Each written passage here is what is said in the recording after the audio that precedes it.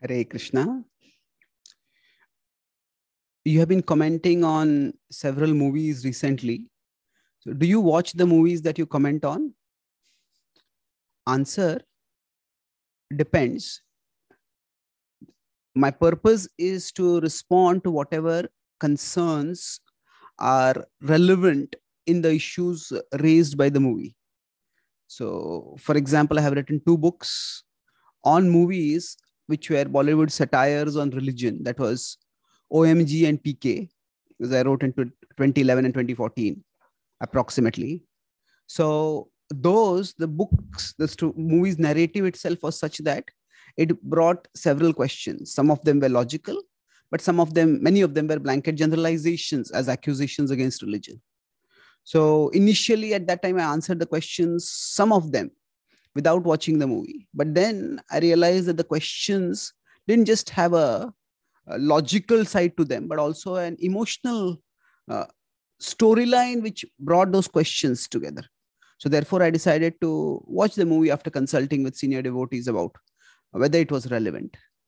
But apart from that, for movies which I'm not so much concerned with the logical issues that they are raised, I don't need to watch the movie. So, for example, I've commented on Bahubali, I've commented commented on R, RRR. So, basically, there I've talked about how they are depicting themes from Indian tradition, and this I can gather just by reading the reviews. I can gather by reading about the storyline from Wikipedia, and I asked some of my friends who and relatives who watch movies quite regularly to get a sense of the emotional tenor. So I will not call my comments as reviews of those movies because a review has to be holistic. You have to look at the video, at the visual quality, the at a lot of factors which are not of relevance to me immediately. So recently, the Kashmir Files uh, was a movie on which I commented. My video on it was also called Reflections.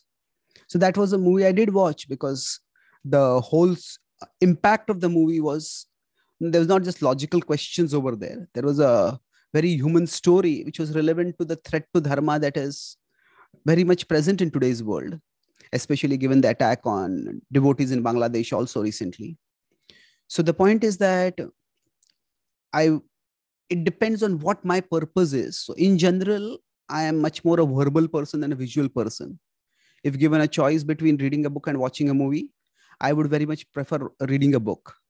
And if at all I want to know what is happening in a movie, I would much, much rather prefer to see the read the script and the screenplay rather than watch the whole movie. Generally, even documentaries, I prefer to watch with two screens so that I can be typing my comments. I find watching movies, watching the visual movement quite passive at times. With respect to books, now our mind our intelligence our consciousness has to, the opportunity to create the world based on the words that we are getting. But with respect to movies the world is already created by the director and by the movie people. And we are just being fed the uh, world that is being created. So i don't find it sufficiently engaging beyond that it can be quite distracting so my purpose is to primarily comment on spiritual connections or Vedic connections that might be there in the movie. And if it is required, only then I will watch the movie. Otherwise, based on gleaning the relevant information that I need, I may make some comments. And of course, as a matter of principle, my understanding is that we all have to do as much as possible to try to spiritualize our consciousness. And each of us uh, can get distracted in various ways. And just because xyz is doing something we shouldn't take that as a license for ourselves doing things. Because uh, we have to see what is the effect on our consciousness. And then accordingly we have to decide. Generally before starting the service of commenting on movies i have consulted with senior devotees who who regularly i am connected with i'm accountable to and based on that i decide when to comment on how to comment on and in general krishna consciousness is not one zero but if you consider we can see Krishna everywhere. As I mentioned in some of my talks, Prabhupada was once in an airport and saw a Charlie Chaplin movie, and he said Charlie Chaplin's humor is original. It is manifesting Krishna's vibhuti, a spark of Krishna's splendor.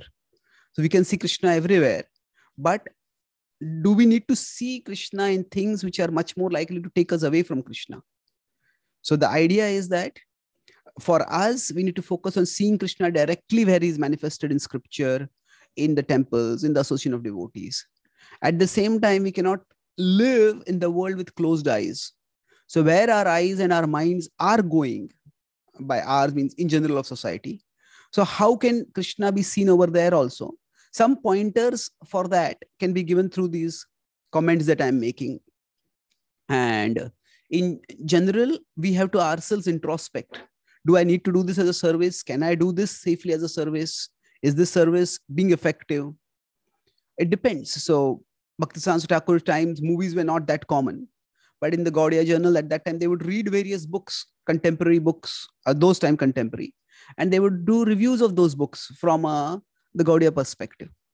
So that was one way of connecting with society, connecting with what society was reading, what society was being exposed to, and helping them see it from a spiritual perspective.